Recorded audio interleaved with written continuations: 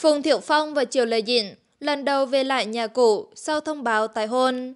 Những hình ảnh đầu tiên của Phùng Thiệu Phong và Triều Lê Dịn sau khi thông báo tái hôn thu hút sự quan tâm của truyền thông và dư luận Trung Quốc. Mới đây, truyền thông và dư luận Trung Quốc được fan xôn xao khi Phùng Thiệu Phong và Triều Lê Dịn lần đầu xuất hiện cùng nhau sau thông báo tái hôn.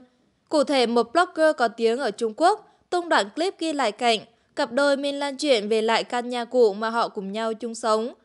Lúc còn mặn nồng ở Thượng Hải, trong video, Phùng Thiệu Phong và Triều Lê Dịn đều mặc đồ đen, người trước người sau bước vào nhà. Hai người giữ khoảng cách với nhau, không hề có tương tác, thái độ lạnh nhạt. Theo sina nữ diễn viên sinh năm 1987, cùng trợ lý về nhà cũ để dọn đồ đạc. Sau khi nhân viên chuyển hết hành lý ra xe, người đẹp lập tức rời đi. Được biết cô có lịch trình quay sâu truyền hình ở Bắc Kinh. Hiện tại Tiểu Cốt được cho là đang sống tại thủ đô của Trung Quốc. Trong khi đó, tài tử cung tỏa Tâm Ngọc vẫn ở lại Thượng Hải. Con trai của cặp đôi bé tưởng tượng ở cùng với bố và ông bà nội chăm sóc. Phùng Thiệu Phong và Triều lợi Dịn thông báo ly hôn ngày 23 tháng 4, chấm dứt cuộc hôn nhân kéo dài 3 năm. Nguyên nhân ly hôn được tiết lộ là do khác biệt lịch trình công việc dẫn đến tình cảm dần nhạt nhòa. Vì thế hai người quyết định trở lại làm bạn bè.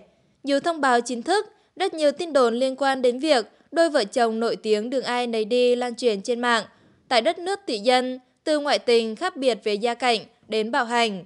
Phía Phùng Thiệu Phong sau đó lên tiếng phủ nhận các tin đồn. Hiện tại điều dân mạng quan tâm nhất Hiện tại điều dân mạng quan tâm nhất là việc tái hôn của Triều Lê Dịn và Phùng Thiệu Phong.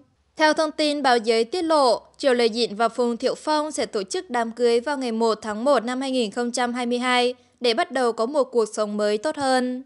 Tuy nhiên, người trong cuộc chưa lên tiếng về thông tin này.